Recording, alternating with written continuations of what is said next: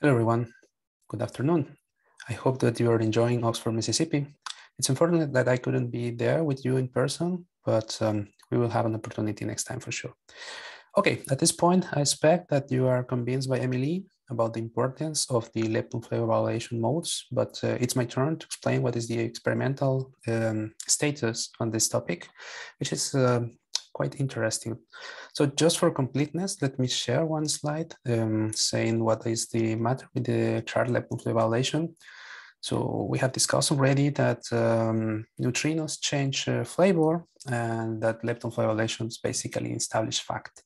However, um, when you change about the charged leptons, um, there is still not a clear answer if they are actually uh, also changing the flavor or not. Well, actually, they can change the flavor. However, the in order to induce this, uh, you have to get these kind of diagrams, which are heavily suppressed by the standard model. They are enabled by the transition of the neutrino with, uh, from one flavor to the other flavor. But this gets um, branching ratios that are pretty much inaccessible to our current experiments in any sense. Uh, however, when you introduce uh, new particles into the diagrams, like for example, um, the particles that come from the supersymmetric modes and these kind of things, then uh, the, the branching ratios become more accessible so even actually accessible at this at the point of the experiments that we have right now. So it makes extremely interesting to search for these models because any observation is a clear signature for for new physics. Even more well in the other in the other hand if you put limits on the branching ratios then uh, you can uh, put some constraints on the parameters associated to this new physics. So this is just the the overview. So I will discuss through the slides uh, about um, lepton flavor violation in different sectors, and I will start with the muons. Uh, let me spend a bit of time here just to explain um, the, the strategy for the search, because in the rest of the presentation, you, you will figure out that this, it's pretty much the, the same strategy for, for the all the lepton flavor violation modes. Of course, each one has its own technical challenges, but the global idea is, is, is pretty similar. So in this case, uh, well, what we are searching is uh, the decay of a muon into two electron plus a, a, gamma photon. So this is the oldest and most constrained uh, lepton evaluation mode. And uh, well, it's the oldest because it's uh, searched for, for muons for a long time. Uh, and the final state is just a monochromatic back-to-back -back, event. It's, it's a two-body decay, so you can pretty much identify it with, with the defined energy of this, of this mode. So it's not um, an accident that we are talking about positive muons. There are two reasons why you have to use them. First, uh, that the positive muon cannot be captured in nuclei. So that uh, allows to, to, to stop the, the, the muon without being captured in an atom.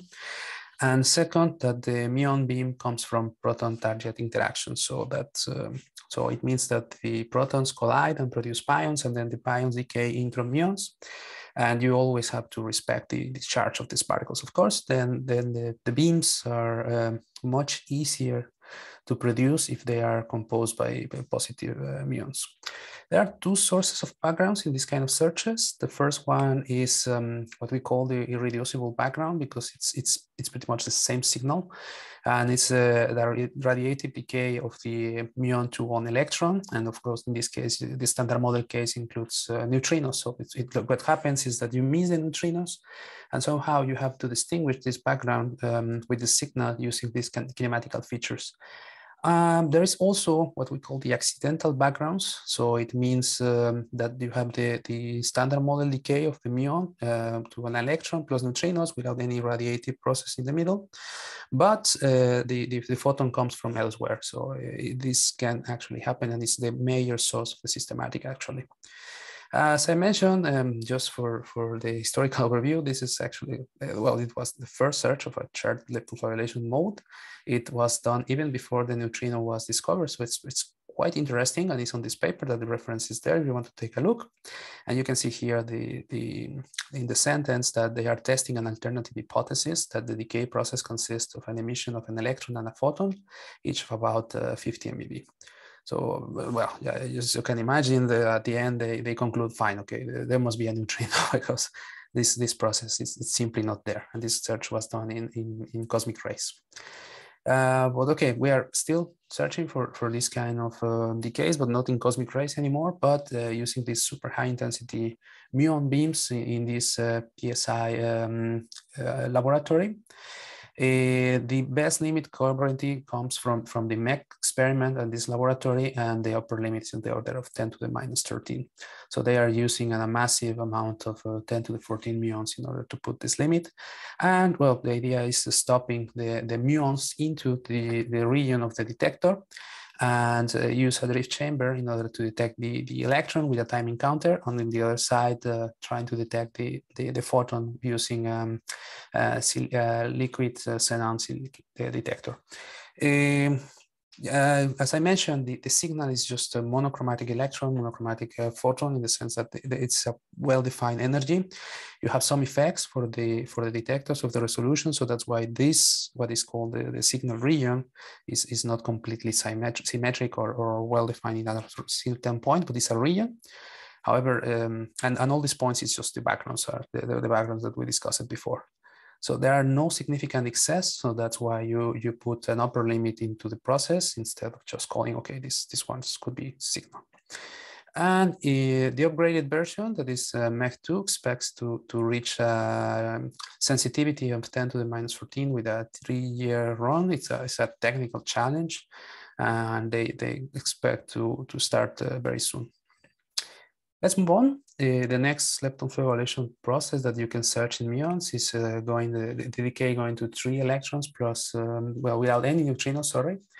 And this is also a, a change of flavor in the process. Um, and again, it could be actually enabled if you include uh, new particles into the diagrams, while uh, compared with the standard model, well, this is extremely suppressed due to the difference to, to between the, the W and the mass of the neutrinos. Best limits uh, are coming from the SINDRUM experiment and PSI. Um, and the, the upper limit is not as strong as in the case of the tau to, sorry, uh, the muon to electron gamma. Um, there are also sources of accidental and irreducible backgrounds, similar as the previous case. And in this case, well, what you can see, it's a bit cleaner. It's not so much background, so it means it's easier to, to actually reduce this, this contamination. And there are no uh, events in the signal region, so that's why you put an upper limit there. Now, the upgrade of this experiment, uh, well, it's the, sorry, the upgrade for the search is um, the proposal of the Mu3E experiment on the same laboratory that will use a very high intensity muon beam and the, the limit that they expect to put is it's it's um, it's amazing. It's a 10 to the minus 16. It's just a, it's a number hard to, hard to to imagine. It's a quite technical challenge because um, you you have to actually stop these muons at some point, and the readout the, of the experiment must be extremely fast to actually being able to to read all this massive amount of muons that are coming.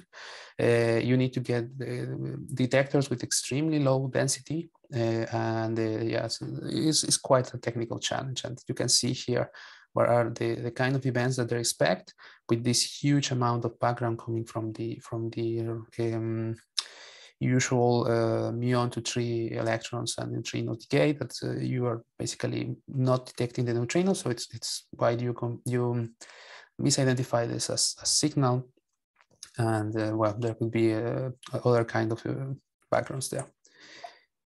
Let's move on. Uh, there is one more way to search for um, lepton flavor violation in, in muons, which is actually uh, capturing the muon into an atom. So this, in this case, now in opposite to the other case, now you really want to capture the muon into the, the atom and expect to get this kind of process in which the muon decays into an electron and the, the, the photon interacts uh, with, the, with, the, um, with the nucleus.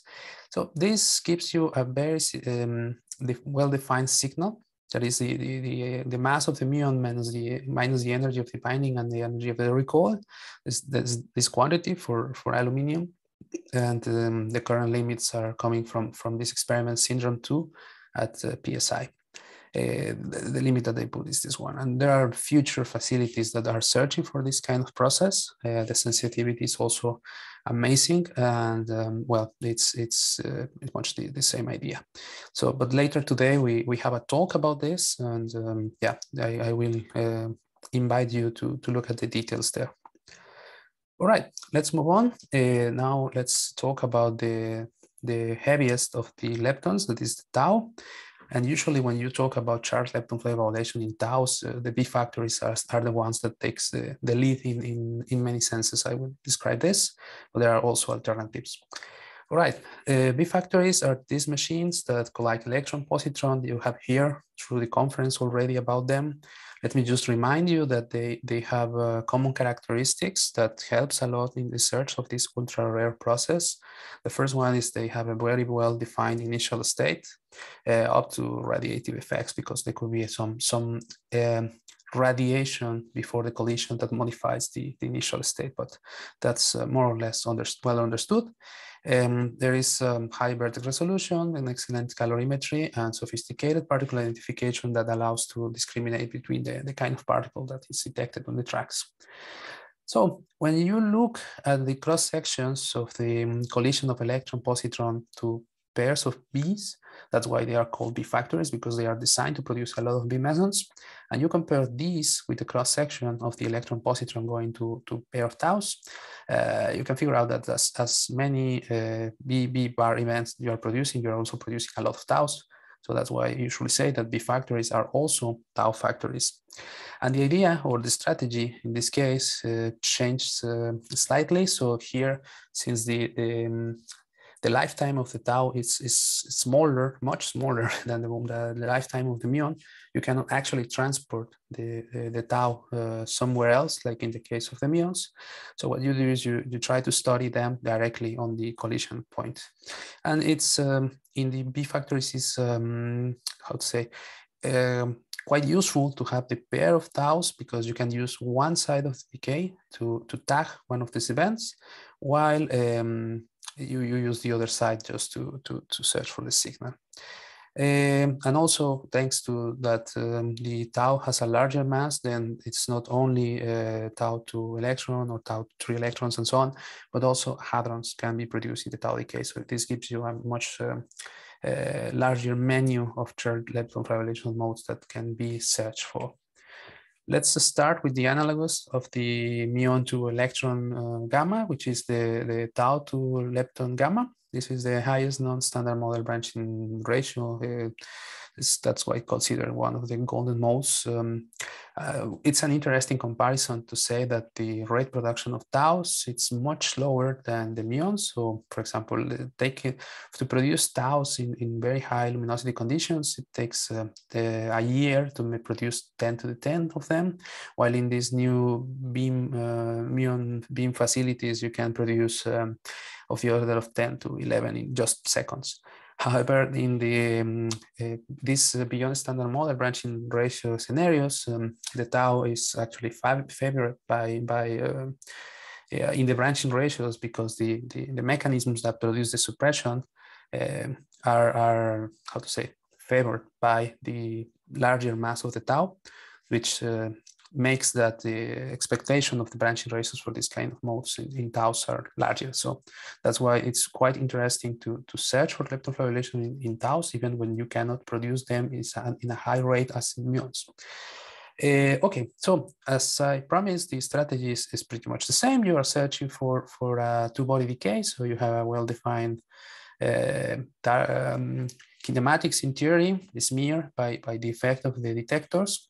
And there are two sources of backgrounds. Also, uh, again, we have this irreducible background that uh, pretty much means that uh, you, you it's, it's, the same process. However, you, you can get this initial state radiation photon and combined with the um, lepton decaying from the tau, and therefore this, uh, this is misidentified as a signal.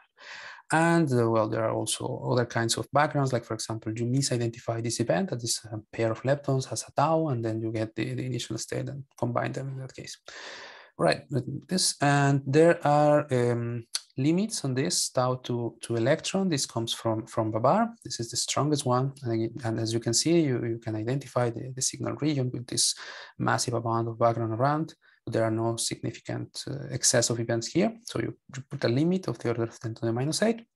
And in the case of the tau to muon, Belle has um, the leading in the, in the strongest limit. Uh, and same thing, uh, this is this, this sea of background events around the signal region in which you have no significant excess, and therefore you, you, you put a limit on, on this. Okay. One, uh, same again, analogous to, to the muon decay, if you have the tau to three leptons, However, in this case, you can access to either electron or muon. So these combinations give you six different modes that you can study. And this one is, is actually pretty clean. You can you can reduce the background a lot. And as you can see here, for example, is the, the strongest limits come from Belle. And these are just a few uh, events in the background. So just, just compare this with, with this amount of uh, background events there. So this is considered quite a clean mode and um, yeah it's it's quite interesting to search uh, because of that because if you if you have basically you have a, a, event inside your signal region it's it really tells a lot and this is just the limit so and the other interesting thing is that uh, in particular for this mode uh, not only the b factories but also the experiments that lhc can search for uh, for example, the tau to three muons uh, can be searched at LHCb because the, the triggers for muons are, are quite good. In this case, the, the, the, tau is not coming from, from the collision directly, but from the decays of the B and C hadrons. And the cross-section in this case is, is quite large, so you can produce a, a lot of these taus on, on these uh, collisions. Um, I already mentioned that the muons are a clean signature for the trigger, that's why you can do this. And there are two classifiers in MBI to, to perform the signal discrimination. So this is just a diagram of how they reconstruct tau. This is the candidate from the from the muons that they are trying to find. And there are no significant excess in the region where you will expect that combining these two muons, you have a, a peak around the mass of the tau. So this is statistically dominated. So there, there will be an update with the newest um, data set uh, that was collected by LHCb. And Atlas and CMS can, can do a very similar thing. So it's, it's super interesting that they can actually get uh, put limits on this. Let me move faster for, for the time. So there are prospects of this at Belle II. Belle II will be a major player in the next decade about uh, tau physics. And of course, charged lepton flavor violation will not be the exception. Um, we expect that this mode, since it's cleaner, can be competitive with early Belle II data. And uh, there is this uh, wide range of menu of uh, decays that can be studied. This one is harder to, to, to, to study because you have to control your backgrounds, and I already described. Um, but this one is um, to three muons. It's in progress at Belle II, and it's, it's, we are expecting to be the, the first one that will be published. And this is the whole picture of the decays, um, well, charged lepton violation modes in, in tau decays. Um, so uh, with, when you take into account all the different mesons that can be produced in the collision, so the, the, this is just the, the, whole picture. And what is interesting is that for many of these modes, um, the expectations of beyond standard model branching ratios are actually are around this area. So the improvement of two orders of magnitude with the whole Belle II data set will tell a lot about these models. They can, they, it can put some limits. All right, let's move on. Uh, there can be also searches of charged lepton flavor violation with B decays. Um, this is one of another of the sectors. Uh, well, the first is uh, the case of the B0 or B0S to electron muon decays. Um, the best limits come from, from LHCb. Uh, and, and the idea is, is uh, it's very similar. So you have a candidate for electron, a candidate for a muon, you combine them. And so this is the, the, the signature of the signal. Uh, you can either reconstruct the, the Bremsstrahlung of the electron or non-Bremsstrahlung, so you, you don't recover the information of the radiative process. And if you don't do that, well, you have this tail. And then uh, try to characterize what is the background that uh, is associated to your search and find for an excess, search for an excess. So in this case, um, LHCb has the strongest limit, but uh, there is no um, significant uh, excess with respect to expected background. So that's why you, you put a limit. Uh, there is a talk about this uh, in the lepton correlation in B decays and LHCb, so I invite you to look at the details there. Right. Um, another possibility is not an electron and muon, but you can include a tau. However, uh, including taus makes much harder the reconstruction due to the presence of missing energy. So, for example, HCB, what does is uh, reconstruct the taus from the, three uh, pions and then performs uh, simultaneous fits in, in regions of the beginning of the PGT. So you, when you reconstruct the candidate, you combine with a lepton and trying to find uh, an excess, but this is not uh, this is not happening. So you basically, well, LHCb puts a limit on this on the order of 10 to the minus 5. It's not as strong because uh, it's harder to, to reconstruct in this way. Belle um, also searched for this, but in this case, uh, instead of a muon, an electron. Uh, and well, the LHCb case, the case of LHCb is a um, muon because the triggers.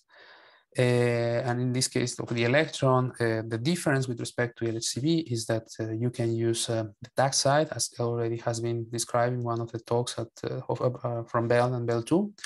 And then once you recover this information on the tag side, you can use the signal for searching the, the, the, the new physics.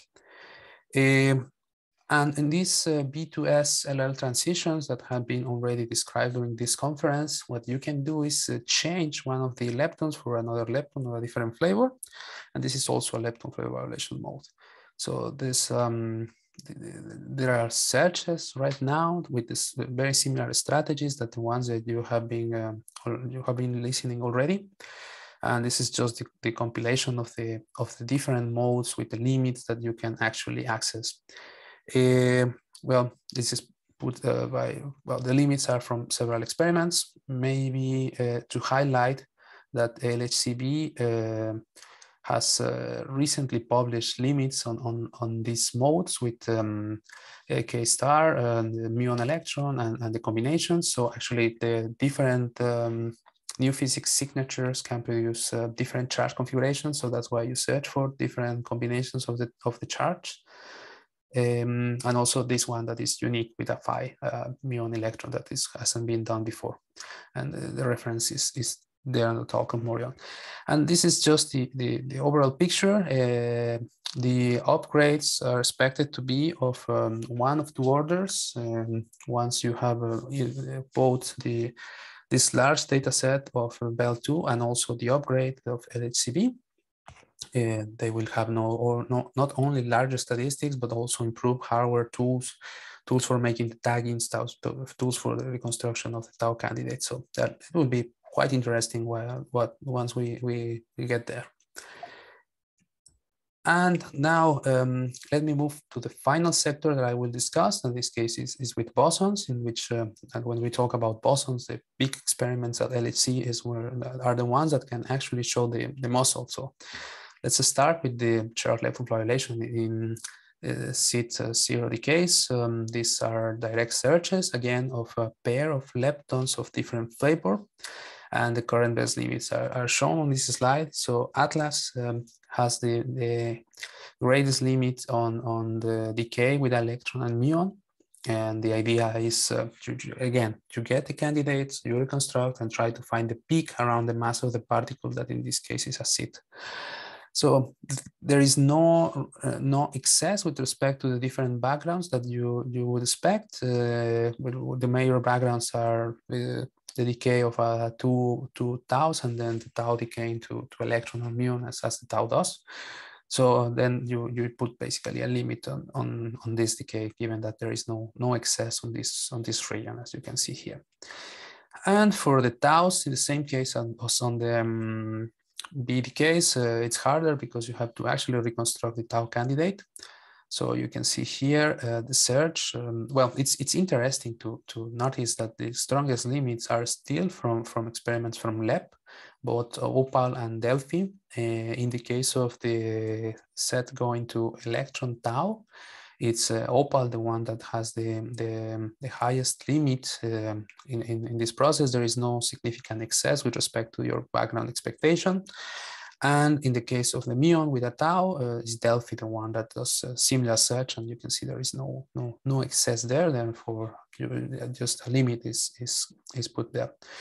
Uh, we expect some improvements uh, of a factor 10 at high luminosity LHC, so there will be much stronger limits in, in the coming uh, the coming years. And it's a complement to, to all the searches that I have described before. And finally, the search of uh, charged lepton violation in the most uh, recent particle discovered, that is the, the Higgs boson. So the Higgs can actually also present um, Lepton flavor violation modes that would also indicate new physics. So it's interesting you discover a particle and you can actually go straight to, to search for this. Um, there are some strong indirect constraints from the muon to electron gamma associated to this, but still it's a, it's a good um, cross check of, uh, of this kind of search. And the main backgrounds comes from, from again, a pair of production of, of pair of uh, taus that just decay and so on. So you can, you can actually, well, in this case, what um, Atlas does is characterize the, the, the shape of the background, expecting to see an excess which is known. Um, this is just the, where you will expect the signal according to the simulations around the mass of the Higgs, and then the limit is, is, is put there depending on the, of the number of candidates. And the, a, a very, very similar strategy reconstructing a tau candidate. Um, in this case, it's uh, done from both the leptonic and the hadronic modes. Combine this with either an electron or a muon. And it's Atlas again, the one that has the, the strongest limits um, I'm just uh, describing things very simply. Of course, there is a lot of technical challenges on this on, on this kind of searches. All right, so this goes to my summary. This was a quick experimental overview of charged lepton violation uh, searches. Uh, I put some emphasis on the strongest limits set to the date. Uh, there is much more experiments searching for these, putting limits, and I apologize because I just couldn't put all of them. I'm just putting these uh, references to the strongest limits that are available on the PDG and so on.